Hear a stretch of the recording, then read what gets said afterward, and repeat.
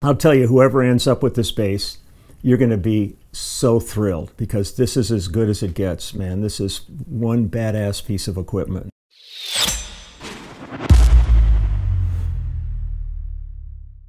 Hey everybody, have we got a treat for you? The great Lee Sklar is going to be playing along to a live Phil Collins track that he actually played on live.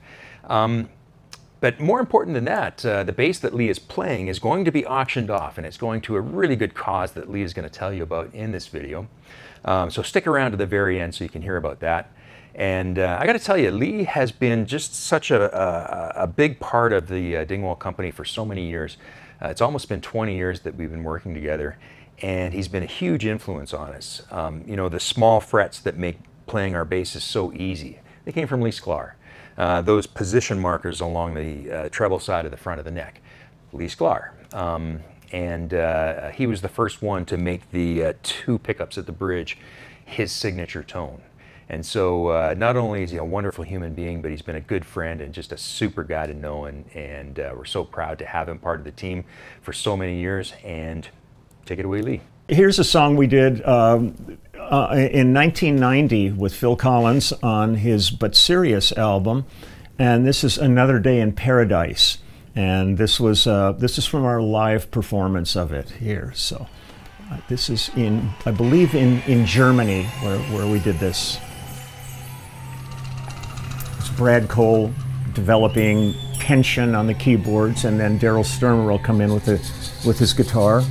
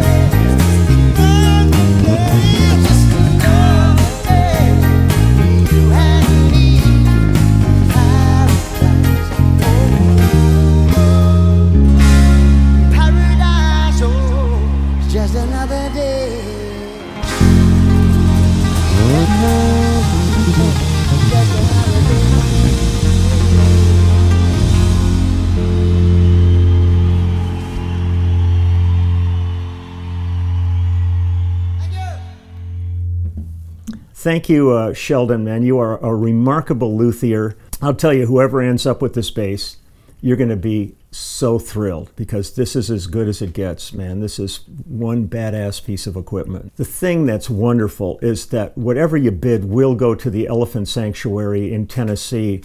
That is uh, a charity that I've been donating to now for many years. It's an absolutely wonderful charity where they elephants that have been abused, that have been in circuses and sideshows and all this they get rescued and they're taken to this place, which is tons of acreage and the kindest staff in the world, and they get to live out their lives the way an elephant should. They are an exquisite creature. Um, I've had the good fortune on a couple of occasions to spend time uh, in, in actual proximity with them.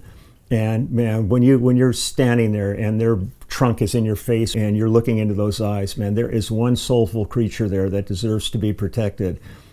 And thank you to the Elephant Sanctuary for taking care of these uh, magnificent and, and soulful creatures. Uh, so this is a win-win. You know, you'll get this bass, and this is an actual signature model of mine. It's got my signature there in the headstock, and then I've also signed it on the back of the headstock. So this is a, a Leland Sklar signature bass, but to have this bass and have the proceeds go to the Elephant Sanctuary, it just does not get better than that. So start the bidding. Check out below, get that website, and go there. And uh, this bass could be in your hands too, and it'd be a day in paradise when you get to play this. So, all my best wishes. Take care.